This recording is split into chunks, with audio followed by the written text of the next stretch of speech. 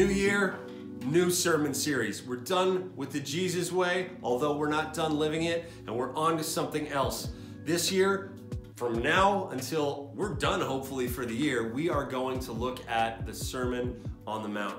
Jesus' biggest, most comprehensive, topic covering talk in the entire New Testament. And we've talked about different parts of this before the Lord's Prayer, anxiety, a few other things, but we are going to go and look at the whole sermon in different little chunks over the course of the next few months. So I want you guys to dial in and tune in, whether you are at home or whether you're here with us live and in person. And let's ask God to fully affect us and change us and renew us through what we are going to learn from this amazing, amazing teaching of Jesus. So, we need to start with some questions. Have you, in any way, in the midst of the past basically year of this COVID thing, as you may have been stuck at home doing homeschooling, or maybe you've lost the ability to do certain things, like it got you to put off getting your license for a while, or you've been stuck at home with your irritating siblings, or this or that or the other thing. Have you ever thought in the middle of that that you're blessed? Probably not. Probably just not super happy with the whole thing. What about in your personal life? Do you feel like you're popular? Do you feel like you're accepted and loved for who you are? Do you feel pretty or do you feel ugly? Do you feel cool or do you feel like a loser? Do you feel like you fit in anywhere? Maybe, maybe you don't feel as talented as other people or as good at school. Is that the way you feel? And in the middle of that, do you feel blessed? Do you feel like, yay, things are great? I, I wouldn't. I would struggle with that, to be honest. Now, think about faith and this whole walking with Jesus thing. You guys come to youth and you your parents teach you things at home and hopefully you're watching on Sundays when we when we do our Sunday live stream. You know you deep down inside. You know the things that we're teaching. You know that as you hear these things you think, yeah, I'm not that.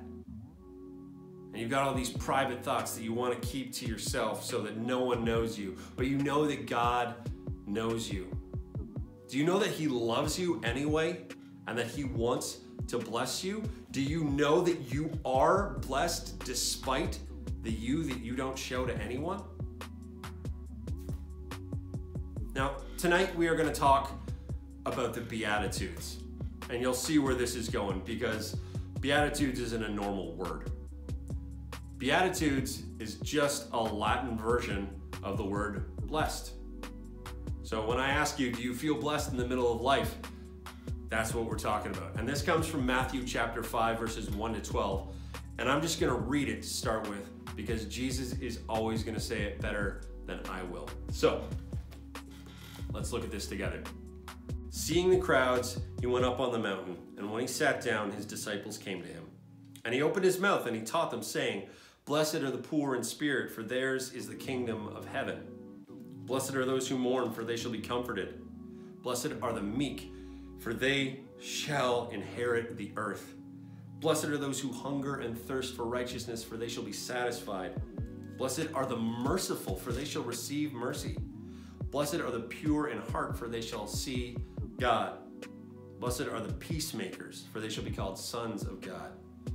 Blessed are those who are persecuted for righteousness' sake, for theirs is the kingdom of heaven. And blessed are you when others revile you and persecute you and utter all kinds of evil against you falsely on my account.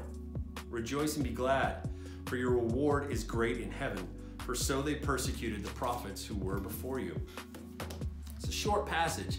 That's the Beatitudes. And there are nine blessings that Jesus talks about there. But we're not going to go into each of those tonight. That's going to come next week. What we want to talk about tonight is what is this idea of blessing? Now, before we dig into that, we actually have to ask a couple questions. One, we asked already, what is a beatitude?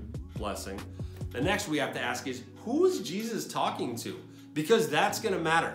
That's going to matter to us and how we hear this. Well, we actually need to go back again and look at a couple more verses from the previous chapter in Matthew. So this is Matthew chapter 4, and this is going to give us a picture of who Jesus was speaking to. And he went throughout all Galilee, teaching in their synagogues and proclaiming the gospel of the kingdom and healing every disease and every affliction from among the people. So his fame spread throughout all of Syria, and they brought him all the sick, those afflicted with various diseases and pains, those oppressed by demons, epileptics, paralytics, and he healed them. And great crowds followed him from Galilee and the Decapolis, and from Jerusalem and Judea, and from beyond the Jordan. Who is Jesus speaking to? People having a hard time, sick, demon oppressed, afflicted, people like you and me, because I asked those questions earlier, and I'd be willing to bet that more than a few of you feel like in some way you are oppressed or afflicted, or life is not great, or the way you would desire it to be. It's not right, something's off. That's who Jesus was talking to. So if you feel that way, Jesus is speaking to you and he wants to give a blessing. He wants to be a blessing to you. That's this whole thing. Blessed are those who are struggling. Jesus is bringing a blessing. And what Jesus is doing is bringing himself. Because when you think of all those things that are wrong in the world, all those things that Jesus was doing, healing the sick, the epileptics, the paralytics, coming to the poor in spirit, the meek and the mourning, and those who are persecuted for doing the right thing, the blessing is Jesus. He fulfilled all of these things perfectly. He mourned, he was persecuted for being perfectly righteous. He was the most afflicted, most attacked person in history. And he was merciful and kind and good despite all of that. He was the only person who could be perfect, who was truly blessed. And he came to share himself with those who were in need, those who were struggling, with us. He's the blessing. We're never to be blessed outside of Jesus. No matter what the world tells us, we are never to be good enough. We're always just to have to keep striving and striving. And Jesus comes into the middle of that and says, Stop. I'm the blessing. I'm here for you. I love you despite how much you're having a hard time. Jesus is that blessing. And He's calling us by teaching us this have our minds change, the way we think about blessing, the way we think about the good life. Check this out. This is from Romans 12. Do not be conformed to this world, but be transformed by the renewal of your mind, that by testing you may discern what is the will of God, what is good and acceptable and perfect. Be transformed. That was what Jesus was calling for when he taught this blessing. He's saying, you think the wrong way about the world. You think that this is going to make you happy. You think that this is going to bring you a blessing. I'm telling you that I'm the blessing. And if you're struggling, what you need to accept is me and my love for you, my perfect, unceasing love for you. And you guys need to hear this. You will never be more or less loved by Jesus than you are right now. No matter the good you do, no matter the bad you do, he loves you perfectly. And you guys know my story. This is my story to this day. I used to be a lot of things. I used to be a drug dealer. I used to be a criminal.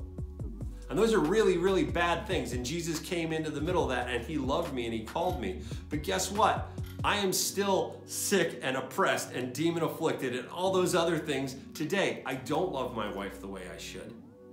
I don't do my job as best as I can. Sometimes I fall asleep on my desk. Guys, Jesus is the blessing to me still. He wants to be that blessing to you too. He's calling you, He's offering Himself to you. He offered Himself for all of us, and all we have to do is accept Him, and we are blessed in Him. It's different from what the world thinks, it's different from what we think, it's upside down. We call this the upside down kingdom. It's backwards, it's bizarro world. One of my favorite bands of all time, As I Lay Dying, ripping heavy band, screams for days. They wrote this song called Upside Down Kingdom. Big surprise, that's where I got the name. But they say this in the last chorus in the last line This is a kingdom born upside down. This is a kingdom where the broken are crowned. If helplessness is our system, then we're better off upside down. If you can't do it, if you can't get love doing everything in your power, you're better off with Jesus. And that's always going to be the case. We're always going to be better off with Jesus.